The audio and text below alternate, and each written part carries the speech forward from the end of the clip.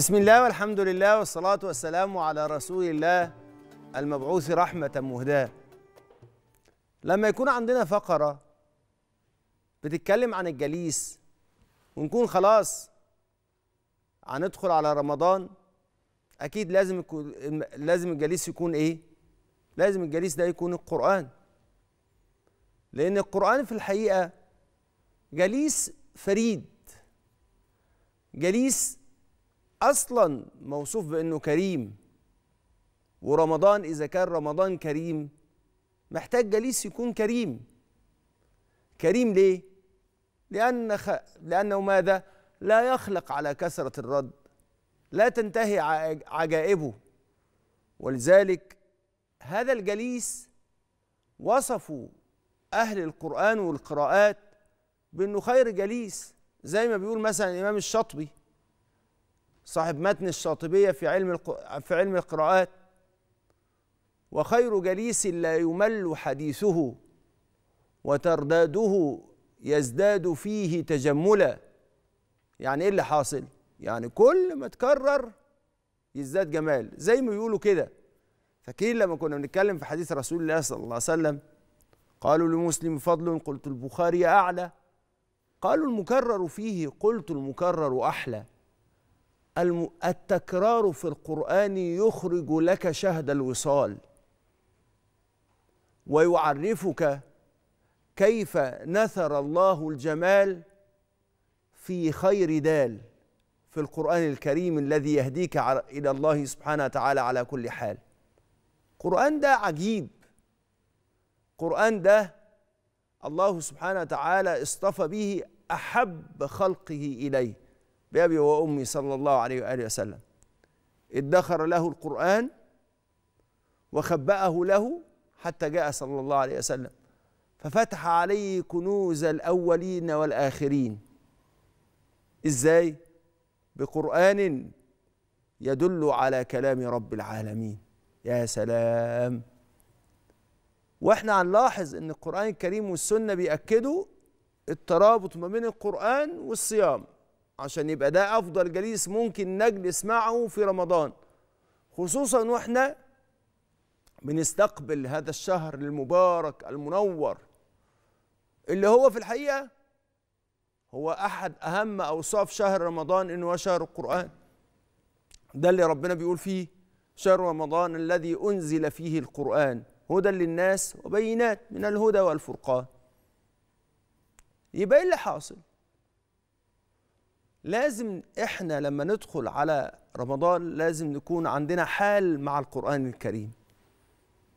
وعشان كده حضرة النبي صلى الله عليه وسلم هتجدوا جمع ما بين القرآن والصيام في حديث عجيب. إيه اللي حاصل؟ إيه منيتك؟ الكيس من دان نفسه وعمل إلى ما بعد الموت. لقاء الله. إيه أكتر حاجة أنت تتمناها لما تلقى الله؟ الشفيع. فرسول الله صلى الله عليه وسلم يقول في حديث عجيب الصيام والقرآن يش الصيام والقرآن يشفعان للعبد يوم القيامة. يقول الصوم أي ربي منعته الطعام والشهوات بالنهار فشفعني فيه. ويقول القرآن منعته النوم بالليل فشفعني فيه فيشفعاني شوف الارتباط.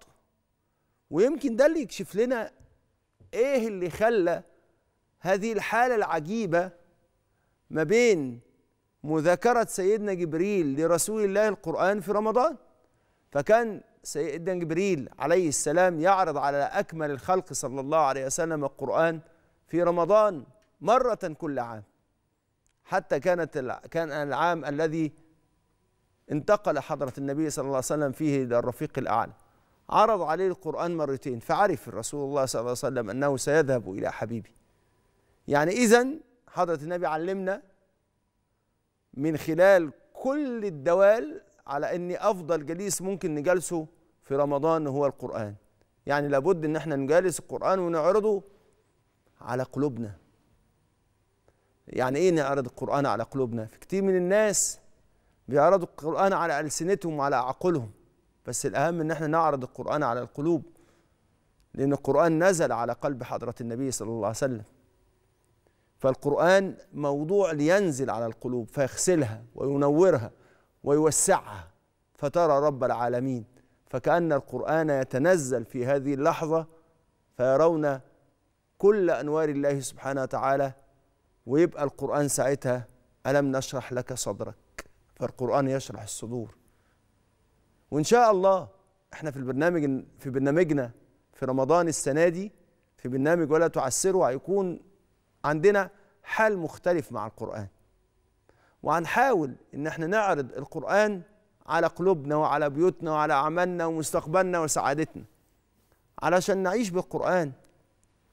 ويبقى دوت باب من أبواب مجالسة القرآن الصادقة اللي تزيدنا نور ورحمة وخير وجمال. وإحنا بنعمل كده كمان عشان عارفين قول السيدة عائشة رضي الله عنها عن رسول الله صلى الله عليه وسلم كان قرآنا يمشي على الأرض فأردنا أن يتحول القرآن إلى ماذا؟ إلى حياة وعشان كده كنا بنعمل بوصية حضرة النبي صلى الله عليه وسلم لسيدنا أبي ذر رضي الله عنه لما حضرة النبي قال له عليك بتلاوة القرآن فإنه نور لك في الأرض وزخر لك في السماء. الحديث ده لازم نعرضه على قلوبنا. عليك بالقرآن. شوف حضرة النبي بيقول لسيدنا أبي ذر ماذا؟ عليك بالقرآن. فإنه إيه؟ هو بيكلمه على القرآن فبيعرفه إزاي هو نافع ليه في الدنيا ونافع ليه في الآخرة. فعشان كده لازم نخلي بالنا إن اتخاذ القرآن جليس وفهمه والمداومة عليه ده مش خيار. ممكن أعمله أو ممكن ما أعملوش لا الحقيقة القرآن مجالسته مش بتكون مجالسة مزاجية. القرآن المجالسة بدي بيه مجالسة نفس مجالسة حياة مجالسة روح. القرآن ده نزل من نفس المكان الذي بيتنزل عليه روحي فهم متجانسين. فأنا لو عشت مع القرآن روحي تترقى. وعشان كده حضرة النبي صلى الله عليه وسلم إيه اللي هيحصل؟ بيعرض لنا أمر مهم جدا إن القرآن ممكن يشكو إلى الله سبحانه وتعالى. يشكو إلى الله سبحانه وتعالى. اناس هجروا القرآن. يا رب إن قوم اتخذوا هذا القرآن مهجورا. فيا رب ما تجعلناش منهم. لا إحنا بناخد القرآن ماذا؟ جليسا حبيبا ونعيش معاه. فالقصد من إن القرآن يكون جلسنا مش مجرد إن إحنا نتلوه ونردد الآيات فيه. لا إحنا نفهمه ونعمل بيه. سيدنا عمر بيقول كان الرجل منا إذا تعلم عشر آيات لم يكن يجاوزهن حتى يعرف معانيهن والعمل بهن. يعني إيه اللي حاصل؟ كان بيحول أوعى تفهم كلام سيدنا عمر إن هو بيعمل إيه؟ بيطبق الآيات اللي هو كلمة التطبيق اللي اتنا بيها التدين الكمي. لا سيدنا عمر كان بيحول القرآن إلى حياة ولكم في القرآن حياة. فإحنا إيه اللي بيحصل؟ بنحاول كان سيدنا عمر والصحابة كانوا يتعلموا العشر آيات ويعملوا إيه؟ ويحولوا العشر آيات إلى حياة. يعني مش بيطبقوها؟ أصل هو بعض الأحيان بيبقى أنا أروح أطبق القرآن خليني أقول لكم بعض اللفتات اللي مهمة وإحنا بنتعامل مع القرآن. كتير من الناس هم بيقولوا إحنا رايحين نطبق القرآن بيكونوا بيطبقوا أفكارهم عن القرآن. لكن القرآن يطبق لما تؤمن بقيمه لما تؤمن بأنواره لما تؤمن بما فيه من مدد. مش إن أنت هتطبق اللي فيه فلما يعارضك شيء من التطبيق بتاعه تسيبه. لا ده القرآن حياتك. القرآن ممكن يغير كل مخاوفك. القرآن ممكن ياخدك إلى عالم أوسع.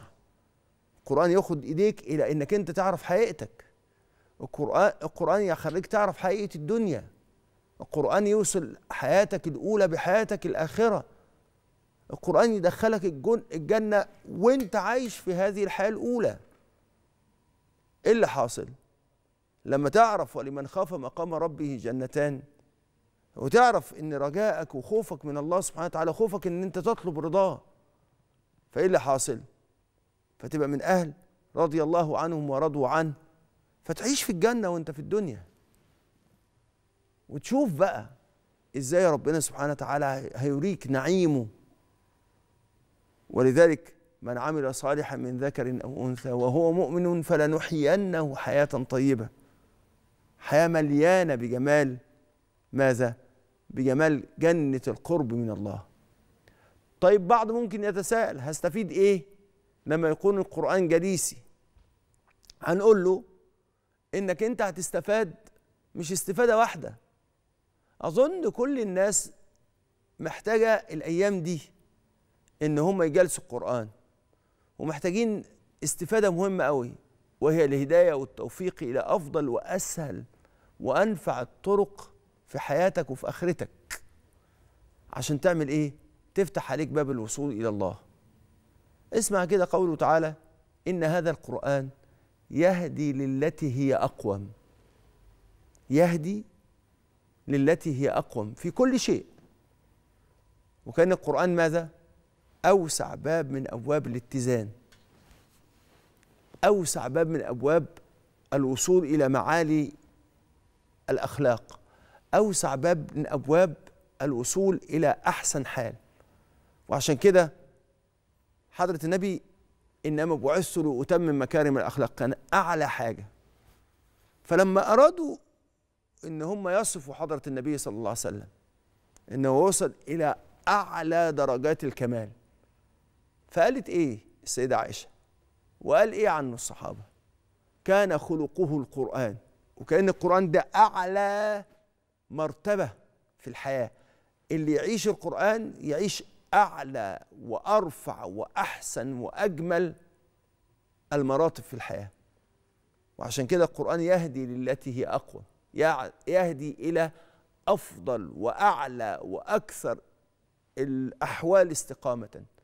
فالناس اللي بتشتكي من الحيرة والتردد والقلق وعدم القدرة على اتخاذ القرارات في الظروف الصعبة اللي إحنا فيها والخوف من كمان من المستقبل أكتر حاجة ممكن تطمنكم وتوصلكم إلى رشدكم وتشيل الغشاوة من على عينيكم وعلى قلوبكم هو القرآن. عشان كده سيدنا الإمام علي رضي الله عنه قال من أراد الدنيا فعليه بالقرآن ومن أراد الآخرة فعليه بالقرآن ومن أرادهما معا فعليه بالقرآن. عشان كده إحنا عايزين بس نقول حاجة مهمة قوي لن تستطيع أن تكون جليسا للقرآن حتى تتشوق إلى أنواره. يعني عارف إزاي؟ زي ما حضرة النبي صلى الله عليه وسلم قال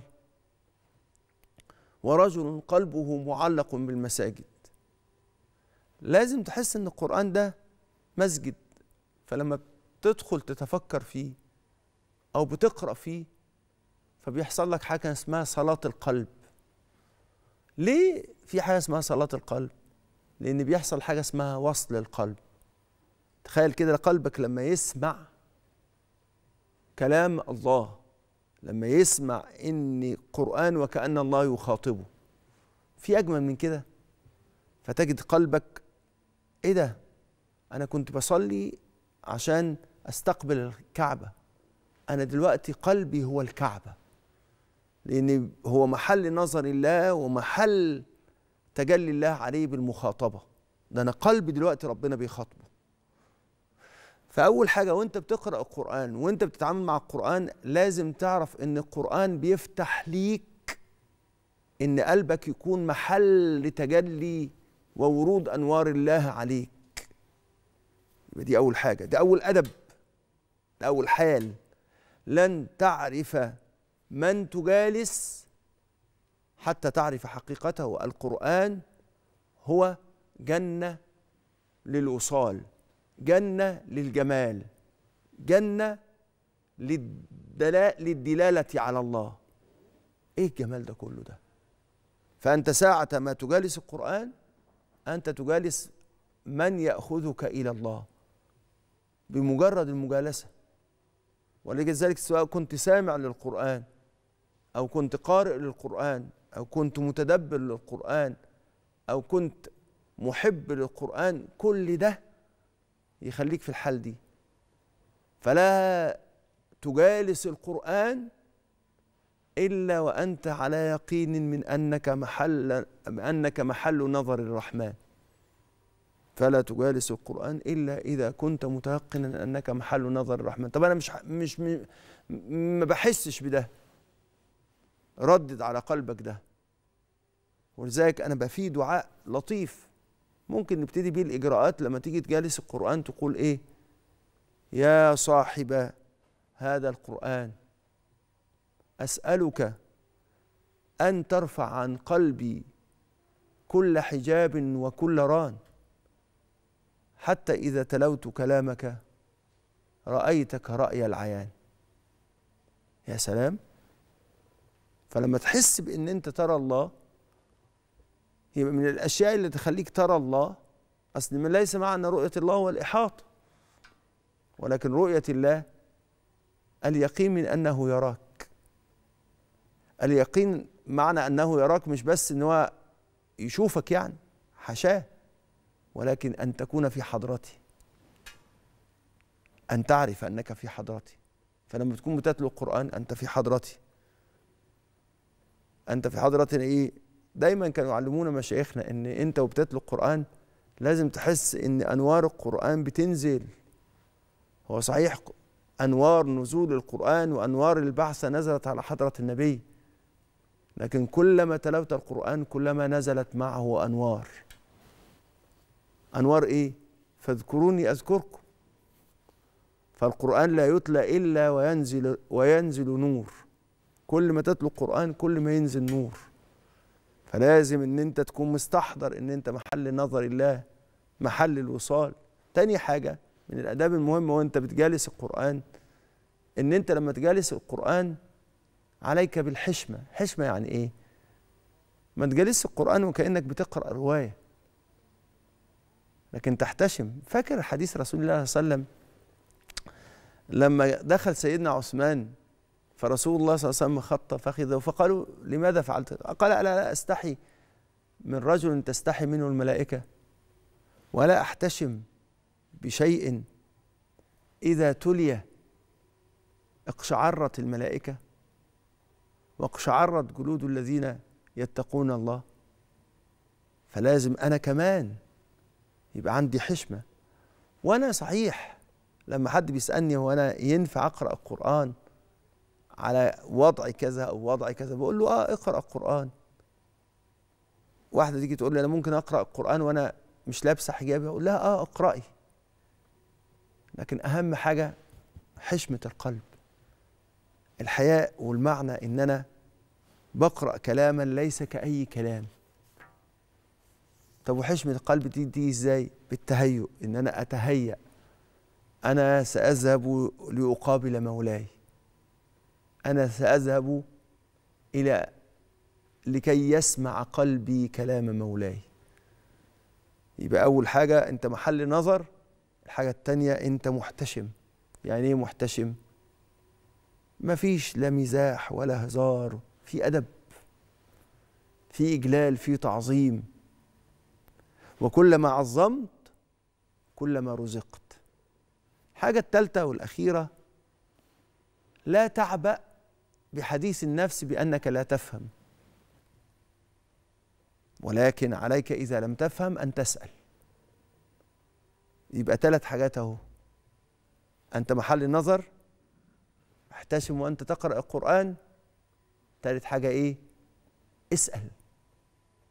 إنما شفاء العي السؤال. والسؤال ده مفتاح باب الجمال وخاصة القرآن هو اللي قال لك كده.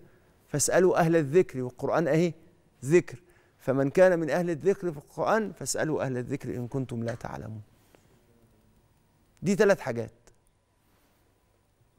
إيه بقى نعمله عشان نقدر نجالس القرآن؟ لابد إن يكون عندك ورد من القرآن والورد ده ما يكونش بشكل أو بآخر. الورد ده لازم في الحقيقة الورد يكون فيه انتظام وفي استمرار. فانت لابد ان هو يكون عندك ورد من القرآن والورد ده ما يكونش بشكل أو بآخر انت فيه بتقرأ بس وإنما تقرأ وتنظر وتتدبر وتطلب من الله سبحانه وتعالى التوفيق. الإجراء الثاني انت لما تيجي تقرأ القرآن الكريم وتقبل على الله سبحانه وتعالى بتلاوة القرآن الكريم اجعل للقران الكريم حالة من حالات المناجاة مع الله. انت بتقرأ القرآن اقرأ القرآن وانت قلبك بيتعلق بالله. يعني اقرأ القرآن وانت بتقول له أنا أعلم أنك تحب هذا الكلام. لأنك لو لم تحبه ما أنزلته على حبيبك. فهذا كلام كلام تحبه أنزلته على قلب حبيبك. فبحق هذا الحب اجعل قلبي محبا لهذا القرآن ومحبا للدخول عليك من باب القرآن. يا رب العالمين.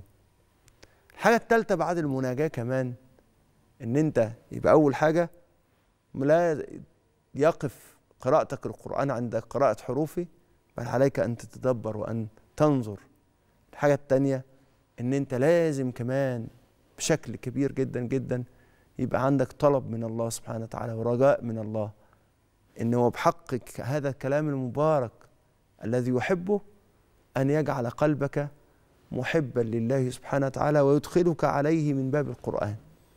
الحاجة الثالثة كمان اللي أنت لازم تعملها وأنت بتجالس القرآن إن أنت لا بأس إن أنت تروح كل يوم يبقى عندك سؤال وتتعلم مسألة جديدة في القرآن الكريم. تروح لأهل العلم وتسألهم. تسألهم عما خفي عن عنك من معاني القرآن. تدبرت؟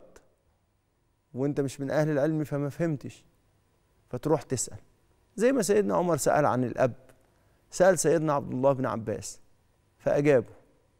فقال شقيت إذا تكلمت في القرآن بغير علم.